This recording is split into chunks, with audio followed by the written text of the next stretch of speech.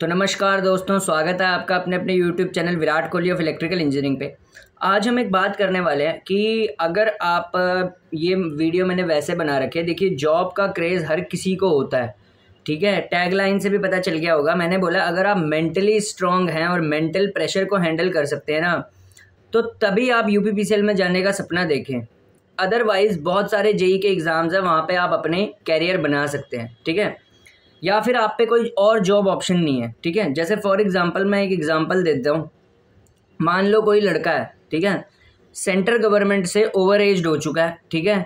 एक एग्जांपल दे रहा हूँ, और उसके पास और कोई ऑप्शन नहीं है तो भैया स्टेट में ही एज ज़्यादा होती है तो स्टेट का ही ऑप्शन रहेगा। जैसे यू पी हो गया या कुछ हो गया तो उसकी तो मजबूरी है। लेकिन तुम अगर जो यंगस्टर हो ना, मैं ये बात कर रहा हूँ, बाईस से लेके छब्बीस साल के बीच के जितने यंगस्टर्स हैं, ठीक है? या 22 से लेकर 27 साल के बीच के जितने यंगस्टर हैं क्लैरिटी फॉर यूथ की मैंने चैनल डाली है। अगर पसंद आता है तो इस वीडियो को भी और शेयर कर सकते हो आप। पर मैं सही बात बता रहा हूँ, ठीक है? आज मैं सब बताऊँगा कि टारगेट ओरिएंटेड जॉब्स क्या होती हैं और किस तरीके की होती हैं और क्या होती हैं। और सब इसी वीडियो में कवर हो जाएगा निचोड़, ठीक है? यहाँ पे मैंने दो कैटेगराइज कर रखा है बच्चों को। एक लड़का है जो जूनियर इंजीनियर या असिस्टेंट इंजीनियर की तैयारी कर रहा है और वो बीस से लेके सत्ताईस साल की उम्र के बीच का है, ठीक है? दूसरा है जो सत्ताईस, अट्ठाईस को क्रॉस कर चुका है पीएसयू की भी सेंट्रल गवर्नमेंट की भी एज जा चुकी है तो बस स्टेट की तरफ़ को अब वो रुख करेगा अपना, ठीक है? यहाँ से दो होगी। पहले ही मैंने क्लैरिटी बता दिया यहाँ से, ठीक है? तो उसके पास तो स्टेट का ही ऑप्शन है। स्टेट में अगर कोई जनरेशन में आ गई तो अच्छी बात है। जनरेशन की नौकरी सुकून की होती है। लेकिन फिर वो डिस्कॉम भी तो भरेगा ही ना फॉर्म ठीक है? या यू पी भी तो भरेगा ही ना, ठीक है? और ज़्यादा वैकेंसी हमेशा यू पी में ही होती हैं। स्टेट में जनरेशन में नहीं इतनी होती, ठीक है? तो ये वीडियो बनाने का क्या तात्पर्य है कि आपको मेंटली स्ट्रांग होकर जाना है अगर आप यू पी में नौकरी करना चाहते हैं। देखिए सरकारी नौकरी सबको अच्छी लगती है, ठीक है? सरकारी नौकरी में सबका एम होता है काम करने वाला, लेकिन मैं सच बता रहा हूँ, जब से लैक ऑफ़ स्टाफ हुआ है ना सरकारी नौकरियों में, सरकारी नौकरी और प्राइवेट नौकरी एक समान है, ठीक है? अब कुछ लड़के नीचे आ जाएँगे, भाई डीमोटिवेटिंग वीडियो बना रहा है ये तो। मैं डीमोटिवेटिंग वीडियो नहीं बना रहा, जिस दिन पहले दिन ज्वाइनिंग लेटर आएगा ना यूपी का, अपने आप तुम्हें पता चलना शुरू हो जाएगा, एक दो महीने बाद, ठीक है?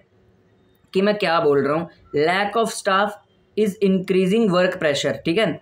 अब लैक ऑफ़ स्टाफ है गवर्नमेंट जॉब्स में, ठीक है? सीधी सी बात है।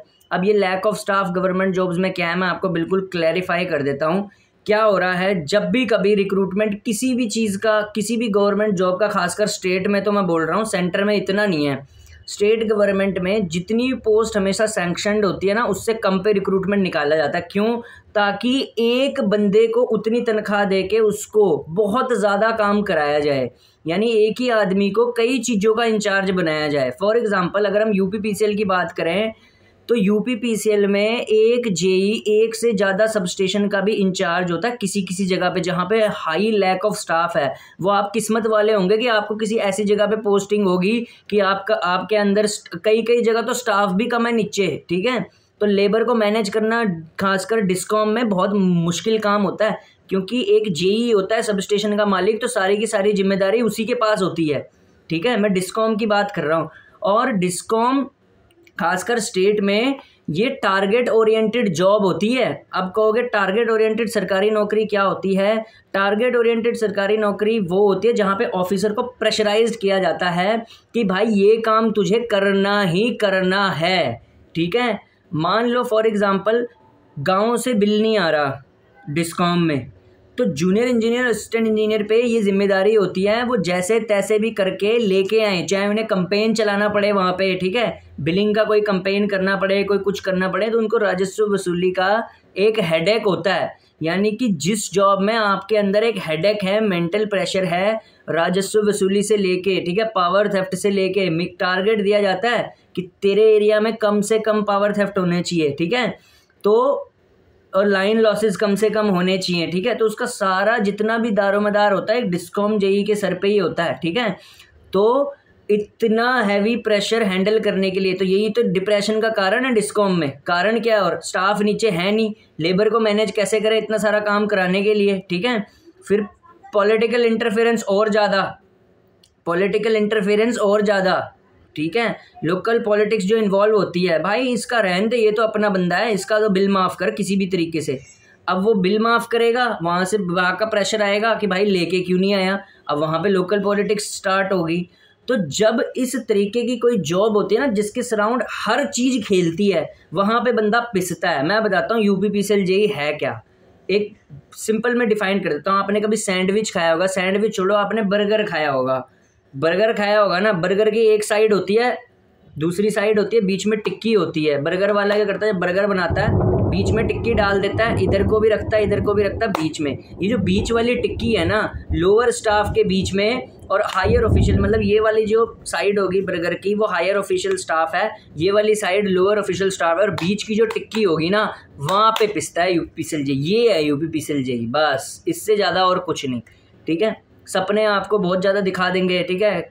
आजकल बहुत सारे यूट्यूब चैनल हैं, ठीक है? इसके बाद तो लाइफ पलट जाएगी उसके बाद लाइफ पलट जाएगी चैलेंजेस आते हैं जब आप उस चीज़ पे पहुँच जाते हैं। वो तो बुकिश नॉलेज पढ़ के तो आपको लगता है, मैं तो बड़ा महारथी इंजीनियर बन गया। लेकिन जब चैलेंजेस आते हैं लाइफ में प्रोफे जब आप एक थ्योरेटिकल लाइफ से प्रोफेशनल इंजीनियरिंग लाइफ की तरफ़ को आ जाते हो ना, तब आपको पता चलता है कि इंजीनियरिंग लाइन है क्या? यहाँ पे कितना मेंटली स्ट्रांग बंदा चाहिए? यहाँ पे कितनी ज़बरदस्त तरीके की वो चाहिए होती है। मतलब एक हैंडलिंग कैपेसिटी चाहिए। तो वो हर किसी के बस की बात नहीं होती। क्यों? फिर मेरे को एक बात बताना यू पी में होते हुए बच्चे यू पी का फॉर्म डाल रहे हैं। तैयारी कर रहे हैं वो। ठीक है? कि यहाँ से हम वहाँ शिफ्ट हुए। क्यों? वहाँ पे शिफ्ट का काम है। यानी कि आठ घंटे काम हुआ, ख़त्म हो गया तुम्हारा काम। ठीक है? लेकिन यहाँ पे अलर्ट रहना पड़ता है। तो अलर्टनेस भी आपके अंदर होनी चाहिए। Means you should be a combination of all things एक तो आपको लेबर मैनेज करना आना चाहिए मैनेजमेंट का काम करना आना चाहिए, भुकाल आपके अंदर होना चाहिए, ठीक है? तीसरी चीज़ पॉलिटिकल प्रेशर आपको हैंडल करना आना चाहिए, ठीक है? कैंपेन्स आपको चलाने आने चाहिए, ठीक है?